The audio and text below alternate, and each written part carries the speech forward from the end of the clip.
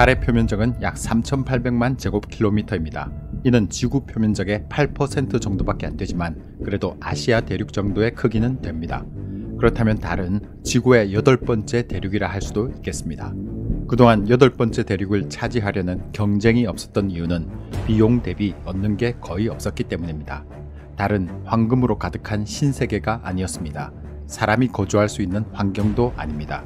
척박한 대륙을 차지하기 위해 천문학적인 돈을 써가며 점유 활동을 펼치는 국가는 없었습니다. 달에 갈 수는 있지만 달은 누구의 소유도 아닙니다. 하지만 지금은 사정이 조금 바뀌었습니다.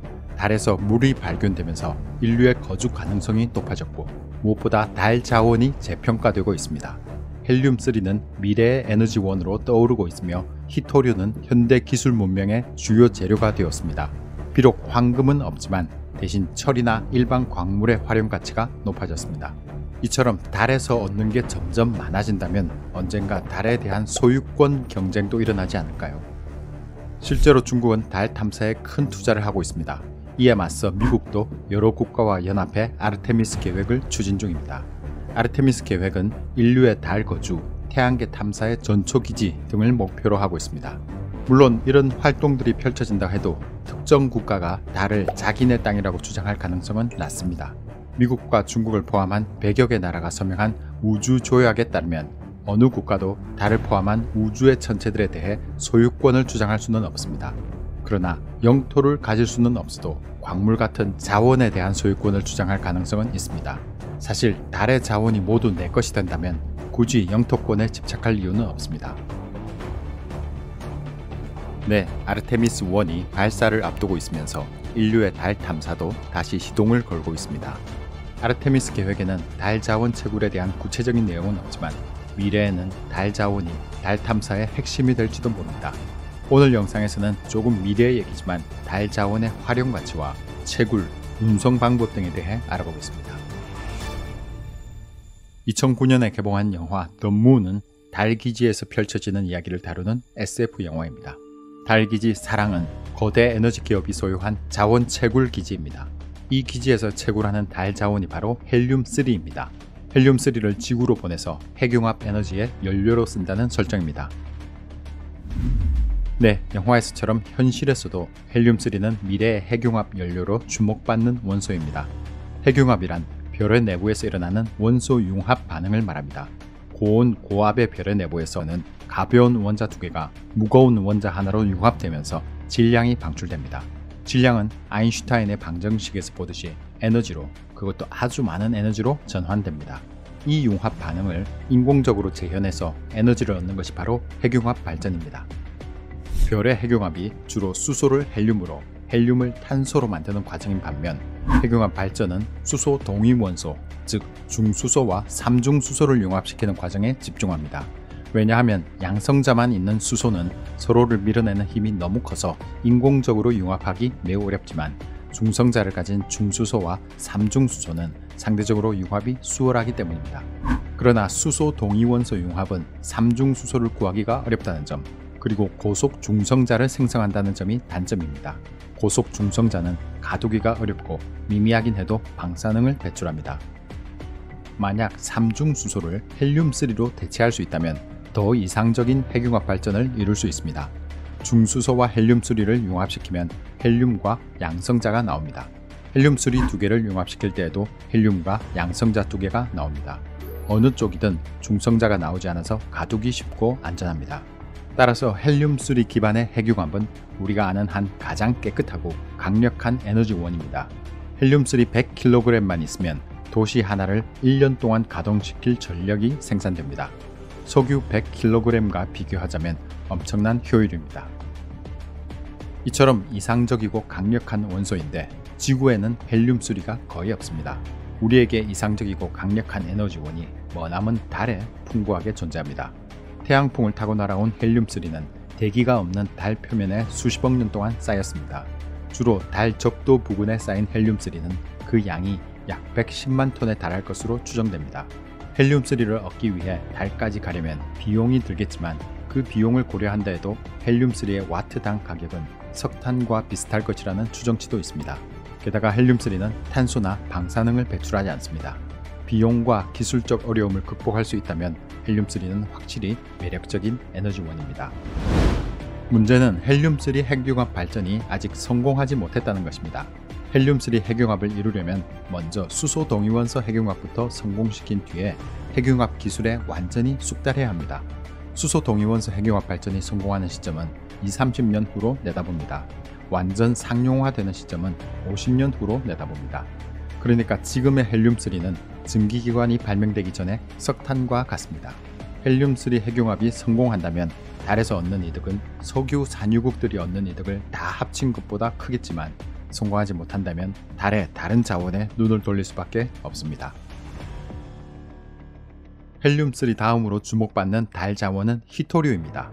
히토류 광물은 보통 세륨, 가돌리늄, 이투륨 같은 히토류 원소들로 구성되어 있습니다. 이들 원소들은 현대의 신소재들을 만드는데 핵심적인 부분을 차지합니다. 디스프로슘과 터뷴은 터치스크린에 사용돼 색깔을 만들어내고 가돌리늄은 MRI의 이미지를 더 선명하게 해줍니다. 태양광 패널, 풍력 발전기 터빈, 전기자동차 배터리에도 히토류가 사용됩니다. 이름과 달리 히토류 원소는 지구에서 그렇게 희귀하지 않습니다. 단지 금이나 구리 같은 원소에 비해 광석에서 추출하기가 어려울 뿐입니다. 또한 추출 작업은 환경 오염을 유발합니다. 반면 달에는 히토류가 풍부합니다. 추출도 더 쉽고 안전합니다. 히토류 채굴에는 기술적 문제보다 경제적 문제가 더 걸림돌이 될 수 있습니다. 예를 들어 달에서 히토류 채굴이 가시화되는 시점에 중국이 히토류를 쌓아두고 가격 폭등을 꾀할 우려가 있습니다. 중국은 전 세계 히토류 생산의 대부분을 차지하는 나라입니다. 2010년도에는 히토류 수출을 제한하면서 자원 무기화를 시도한 적도 있습니다. 달 채굴 산업이 안정적으로 자리 잡는다면 히토류 가격도 안정화되겠지만 그렇지 않다면 가격 불안정 문제가 오래 지속될 수도 있습니다. 헬륨3나 히토류가 달 탐사를 이끄는 중요 자원처럼 여겨지지만 실제로는 철이나 알루미늄 같은 흔한 광물들이 달 탐사의 미래가 될 수 있습니다. 신세계에서 집을 지을 때 두세 개의 나무를 가져다 쓰지는 않습니다. 달에 기반 시설을 건설하려면 현지에서 자원을 조달해야 수지 타산이 맞습니다. 달에는 티타늄, 우라늄, 알루미늄, 규소와 같은 건설용 자원이 풍부합니다. 티타늄은 일메나이트라는 광물의 형태로 존재하는데 이 광물을 채굴하면 부산물로 철과 산소를 얻게 됩니다. 우라늄은 원자력의 연료가 되고 알루미늄은 주거시설의 재료가 됩니다. 규소는 다른 원소들과 결합하면 태양 전지판의 소재로 쓰일 수 있습니다. 그리고 달의 유인기지를 세울 때 반드시 필요한 자원이 바로 물입니다. 물이 있으면 마실 물과 호흡할 수 있는 산소가 확보됩니다. 덤으로 연료로 쓸 수 있는 수소까지 확보됩니다. 달에 연료 충전소가 있는 것과 없는 것은 큰 차이입니다. 연료 충전소가 있으면 지구에서 연료를 3분의 2 정도만 싣고 출발해도 됩니다. 아폴로 프로젝트 이후로 달 기지 구축에 관심을 보인 나라가 거의 없었던 이유 중 하나가 바로 물 부족 문제였습니다. 그러나 달에서 물이 발견된 뒤로는 상황이 바뀌었습니다. 물은 달의 극지방 지하에 얼음 형태로 존재합니다. 헬륨3와 히토류, 일반 광물과 물, 이와 같은 달 자원이 정말 가치가 있으려면 채굴 작업과 운송 작업이 효율적이어야 합니다. 사실 달에 설비만 갖춰진다면 채굴 작업 자체는 지구에서보다 쉽습니다. 중력이 지구의 6분의 1 밖에 안 되는 달에서는 물체가 쉽게 떠오르기 때문입니다. 그래서 최소한의 설비와 에너지로도 대량의 광물을 채굴할 수 있습니다. 다만 굴착을 할 때 마찰로 인해 너무 많은 열이 발생할 수 있는데 그 열을 식힐 공기가 없다는 점은 불리합니다. 또한 채굴 때 폭발된 파편들이 지구에서보다 더 빠르게 더 멀리 날아간다는 점도 불리합니다. 이 때문에 채굴 작업은 자동화 기계들이 대신할 가능성이 높습니다. 지구에서 원격으로 달 채굴 작업을 통제하는 것입니다. 이미 여러 나라들이 원격 탐지 위성으로 광물의 위치와 그 양을 알아내는 활동을 하고 있습니다. 우리나라도 다누리 위성을 통해 헬륨3와 물의 위치를 찾는 작업을 수행합니다. 위치가 정해지면 소형 공장이 설치되고 시험 채굴이 진행됩니다. 달에서 최초의 채굴은 지표면을 판에서 수백 도로 가열한 다음 수소나 헬륨 같은 원소를 수집하는 간단한 형태로 이뤄질 겁니다. 달의 중력이 약하다는 점은 채굴 작업보다 운송 작업에 더 유리합니다. 달의 탈출 속도는 초속 2.4km로 지구의 탈출 속도에 비해 5분의 1밖에 안 됩니다. 다시 말해 달에서는 물체를 초속 2.4km 이상으로만 추진시키면 달의 중력을 벗어날 수 있다는 얘기입니다. 이 정도 속도라면 굳이 로켓 추진을 하지 않아도 됩니다. 달에는 공기 저항이 없기 때문에 mass driver 같은 자기부상 발사 장치로도 원자재 박스를 우주로 쏘아 보낼 수 있습니다. 영화 The Moon에서도 mass driver와 같은 장치로 헬륨3를 지구로 쏘아 보냅니다. mass driver는 달에 설치된 거대한 새총과 같습니다. 새총으로 쏘아보낸 박스는 며칠 만에 지구의 바다에 떨어지거나 충분히 감속한 다음 지구 저궤도에서 포획됩니다.